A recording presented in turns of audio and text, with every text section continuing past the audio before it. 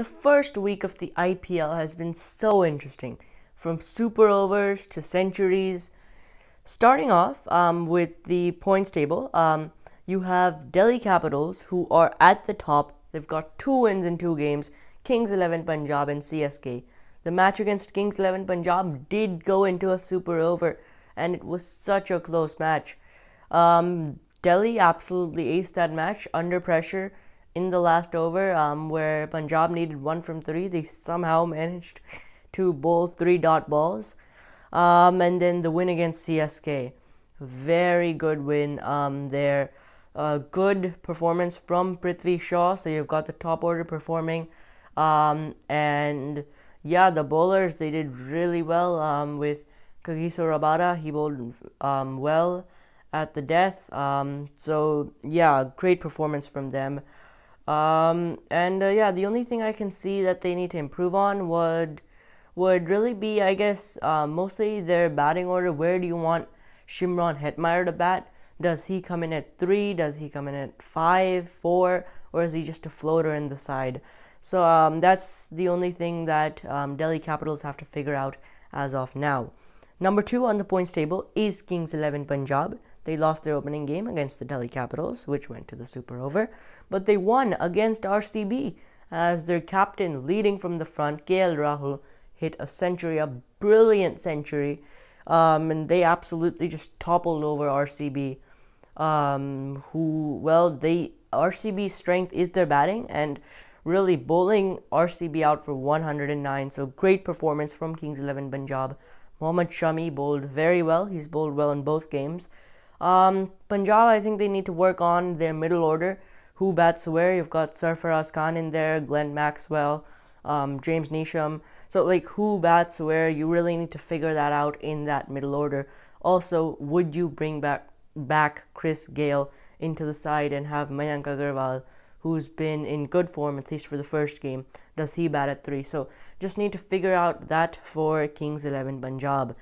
At number three on the points table, you have the four time champions, the Mumbai Indians, who lost their opening game against CSK, um, uh, but came back strongly, won against KKR. Um, so, yeah, the, uh, their bowling is doing well. Um, and with their batting, the only question I can see is uh, with Saurabh Tiwari playing well, how does Ishan Kishan come back into the side? Because Ishan Kishan had a very good IPL 2019, and so he should be in the playing 11. So, how do you put in both Saurabh Tiwari and Ishan Kishan into your playing 11? So, that's what the Mumbai Indians need to figure out. Next, you have the Rajasthan Royals. They played one game against CSK and won that, so that's why they are in fourth. Um, at the end, uh, at the end of that um, that innings, they, we saw some good batting from Jofra Archer. Um, and also an excellent partnership between Sanju Samson and Steve Smith. Sanju Samson playing some good shots, Steve Smith anchoring that innings. Um, so a great performance from the Rajasthan Royals. At number five, you have CSK, um, and they won their opening game against the Mumbai Indians, um, and then lost the next two games against the Rajasthan Royals and the Delhi Capitals in the two games they lost, they needed 100, 120 from the last 8 to 10 overs, um, and they weren't able to chase that down. I think the main thing they need to uh, focus on is their opening partnerships because they are not getting good starts, and you need to have a good start when you're chasing targets around 200, which they will have to chase. They had to chase them in the game against Rajasthan and Delhi. Um, so you really need those good opening partnerships. So they still need to figure out who's going to open. Probably Murli Vijay won't be opening. Um, so uh, yeah, still need to figure that out for CSK. Um, number six is RCB. They won their opening game against SRH, but then lost against Punjab. In that game against SRH, they came back really strongly. Um, I mean, SRH, they were on top, and somehow the RCB bowling attack managed to pull off a victory, a stunning victory. Um, RCB need to work on their death bowling. Uh, it hasn't been good. Um, their spinners are bowling well with Chahal and Washington Sundar, Um, but their death bowling is a big concern. Um, actually, the whole fast bowling is a big concern as it has been. Um, so they need to work on that. Um, that's RCB. And at number seven, you have SRH, who lost against RCB. That was the only game they played. Um, and they were actually going really steady. They had eight wickets in hand and needing 45 from 30, but somehow they managed to lose that game. So, uh, yeah, they really need to work on that batting stability.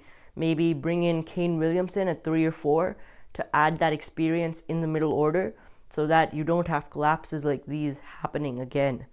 Um, and then at the bottom of the table right now is KKR, who played one game, which was against the Mumbai Indians, and they lost that. Uh, KKR need to work on who bats where in their middle order because you've got Dinesh Karthik. So either you bat him at three or you play Nitish Rana at three. Um, actually, three, four, five, six. So you've got Nitish Rana, Dinesh Karthik, Ian Morgan, and Andre Russell. So you need to really figure out who bats where for KKR. Um, so yeah, that is the points table for um, the first week at the end of the first week. Um, and another thing that I actually noticed was there there have been so many collapses in this first week. Um, look at the first game. Mumbai 121 for 3 eventually made 156 for 9.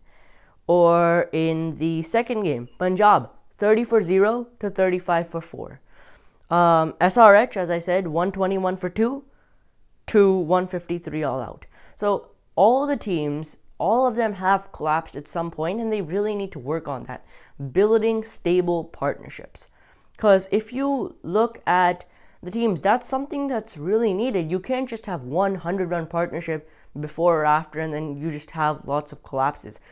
You need to have two or three good 50 run partnerships that'll then take you through to a good total or um, help you chase down a target. So, all the teams I think really need to work on building those partnerships um, and really, uh, really just, yeah, just building, just having those partnerships that'll help you win the game, that'll eventually put pressure on the opposition to get those wickets, and that will, that will be what will help you win the game. So, that's what every team needs.